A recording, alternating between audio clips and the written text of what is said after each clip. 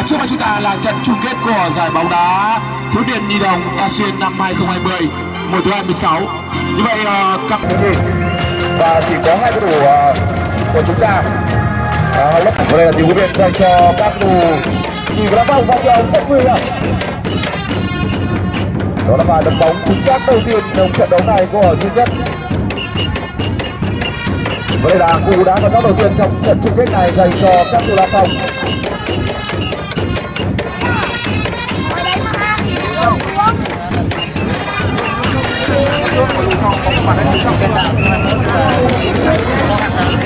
trong lịch sử bóng đá, thiếu niên cũng như là thanh niên chỉ có các cầu thủ lâu là đội bóng đã có nhiều năm vô địch liên tiếp. Ngoài ra thì gần như chưa có đội bóng nào có thể làm được. Và như vậy liệu ngày nay các cầu thủ nhi đồng của La Phong duy nhất học lớp 7 hai đội bóng đang sở hữu một đội hình cũng là rất đồng đều. Và có tiếng còi cất lên rồi cái này đã xác định trước đó đã có lỗi của cầu thủ bên phía. Việc ở trong ờ, uh, dạng sáng ngày này đã xuất hiện trên với tầm đá khiến cho trận đấu nga có một còi đầu tiên rất sạc giá với đội dành cho các thủ di động của Lão Hùng đó là Mạnh Vũ.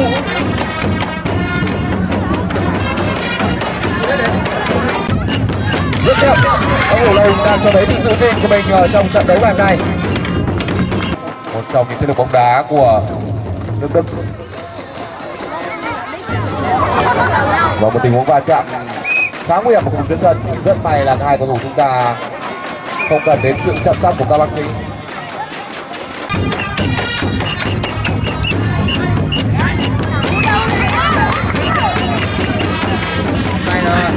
Và có lẽ đó là tình huống để bóng chạm tay.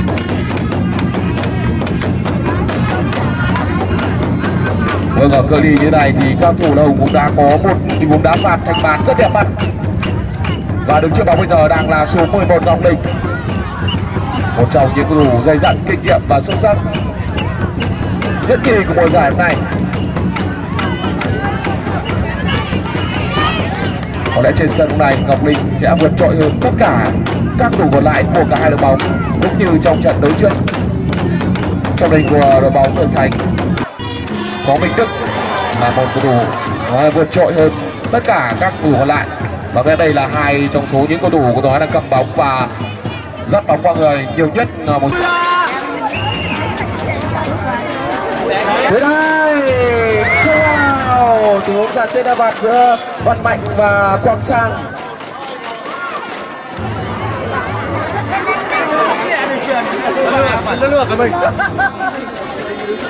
và nhiều người sẽ nghĩ rằng do đó sẽ là những tình huống đá thẳng vào phía khung thành. Nhưng uh, nhiều khán giả trên sân đã bị bất ngờ trong tình huống vừa rồi. Kèm bằng những tình huống chặt xếp đá phạt và những tình huống đá biên đưa bóng vào bên trong. Minh Long xuống Minh Long. Làm gì đây Minh Long? Bóng vào không được. Một trong những đủ chiều cao tốt nhất của Minh Long. Một trong những hoa bóng rồi em đã con pha bứt tốc rất tốt. Thế nhưng ở trong tình huống nỗ lực càng bóng vào bên trong khoảng cách dành cho em nó không còn. Thì chiều bóng đã đi tự do dãy bất vào đường biên ngang và chiều bóng nguy hiểm đến từ các thủ. Hồng ngọc linh. Văn mạnh. Sút xa.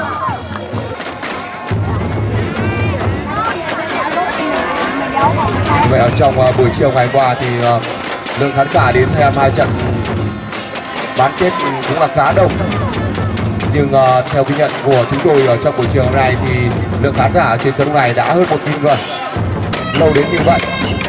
Rất điểm rất nguy hiểm. Vẫn là ngọc linh với những cú dứt điểm như cú bỏ vậy. Đây là một trong những cầu thủ sức sút bóng nói mạnh nhất nhì của mùa giải năm nay. Và những cú nã này ba quẹt cũng khiến cho những hậu vệ hay những thủ môn của chúng ta cũng phải ra trước cú sút này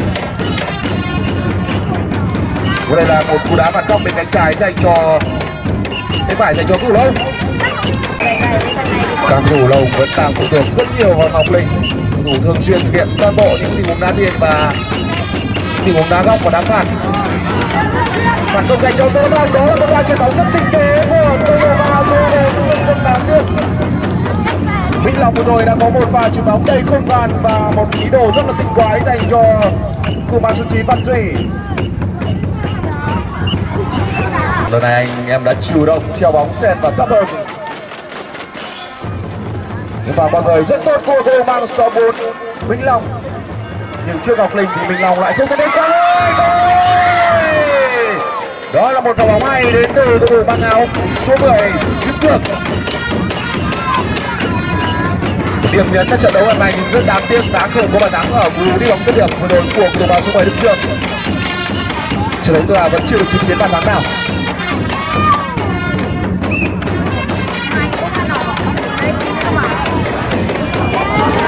Vĩnh Long.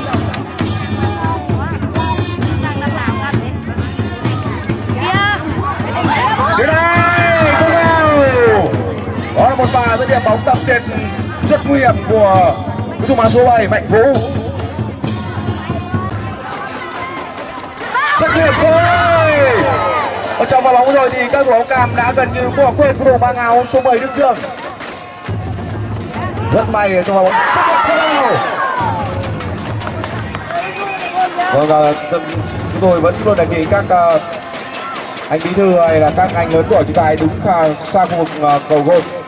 Trong pha bóng vừa rồi nếu như không quan sát nhanh thì chúng ta có thể sẽ lầm tưởng đó là những pha bóng bật một con dọc bóng này lên. Những pha bóng nhanh như thế nếu không quan sát thì rất dễ gây ra những cái. Tại đứng cách xa cột dọc ít nhất từ 50 phân một mét. Cảm giác ăn mừng một bàn thắng cho tới điểm này. Vĩnh Long.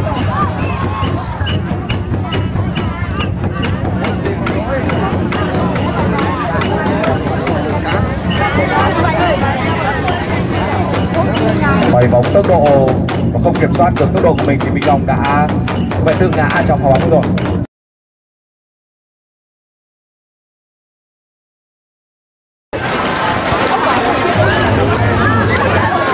Các em nên đánh tránh xa của gôn để cho trận đấu ta diễn ra và vẫn công bằng hơn.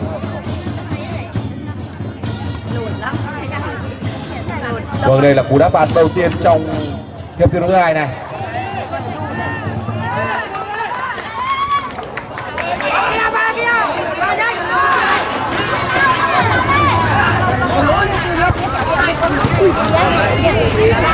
Minh Long, ba thủ ở vòng và dâng lên trong tình huống này bắn chơi gol không có cú xoay người dứt điểm nào đến từ cầu thủ mang số 5 phía đây một pha đẩy bóng vào thế này rất tốt và cú dứt điểm của cầu thủ minh Long cũng là rất mạnh nhưng rất đáng tiếc bóng đang hướng ra bên ngoài. Vừa rồi các thủ đá bóng đã có một pha phản công và tình huống dứt điểm quá là đẹp mắt. Chỉ điều chúng ta đã không Vâng, về phía các thủ đồng sẽ có một sự thay đổi người rất đáng chú ý. Người số 9 uh, ờ, Nguyễn Anh sẽ vào sân để thay cho thủ mang áo số 10 là Đức Sương.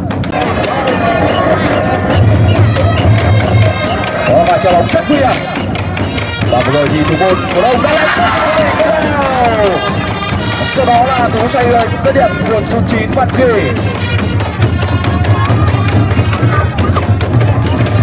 Bóng bổng thì luôn là lợi thế đối với những thủ môn của chiều cao. Thế nhưng uh, bóng chật thì lại ngược lại. Rồi tình huống xoay người dứt điểm bóng chấn khá là nguy hiểm. Và như vậy sau trận đấu chung kết này thì thủ môn của đồng đã có hai trận đấu chưa để lột lưới bạn nào. Ôi, vẫn không vào. Không có thắng dành cho các cầu thủ đi đầu là vào một trong vào bóng vừa rồi của Văn Trì nếu như những phút đầu tiên của hiệp một đội bóng lồng đã có những đội đáng kể nguy hiểm hơn thì trong hiệp hai này các thủ lâm phòng lại là đội bóng đang tạo ra những pha bóng nguy hiểm được khung thành của môn duy nhất. Cầu thủ của La Phong có vẻ như bị đau ở trong pha bóng rồi.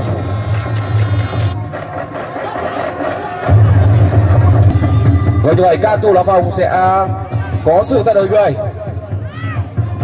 Như vậy uh, sự thay đổi hiện nay đó là bóng nguy hiểm đó là một bóng xa khá nguy hiểm dành cho ờ, uh, các thủ La Hùng và bóng lên dành cho La phòng đó là một tình huống quan sát rất tinh tế của vị trí Việt Anh em đã đưa bóng vào phía vị trí của Mạnh Vũ. Rất là tiên số đánh đầu ờ, góc hẹp của Mạnh Vũ đã đi ra bên ngoài. Việt Anh. Việt Anh đã làm được rất hay cho mình Vũ Việt Anh. Như vậy, mỗi khi mà có Việt Anh và chúng sân thì trận đấu, và đặc biệt thế trận của đội luôn trở tỏ ra là cởi mở hơn. Nhưng chúng tôi không hiểu tại sao Việt Anh như vậy đó là bàn thắng của Việt Anh. Vâng đúng như chúng tôi cũng đã nói.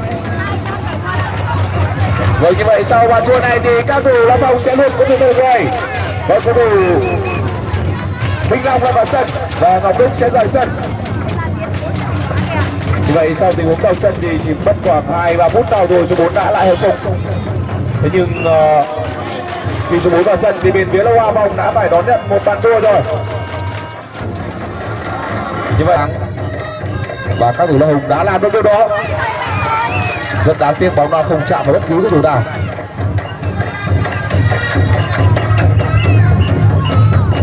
Việt Anh một trong những điểm sáng nhất ở trên sân lúc này khi mới vào sân trong hiệp hai chưa đầy 4 phút thì cầu thủ này đã có một bàn thắng.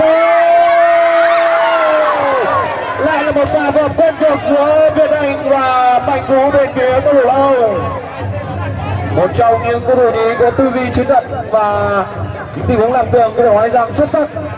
Kết này, môn của lâu vẫn chưa được lưới bàn rất đáng tiếc được cộng mà thủ ba số 7 mạnh vũ vẽ ra không đủ nó để đưa vào trong khung thành một cự ly khá gần ở trong tình huống rồi. Và nếu như đó bàn thắng thì chắc chắn mọi chuyện sẽ sớm khép lại với các đội bóng. Đây là những tình huống bóng của đây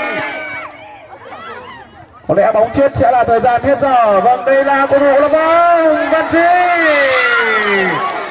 vâng như vậy đúng này thì trọng tài cuối chung đã nổi còi khép lại thi đấu thứ hai của trận chung kết.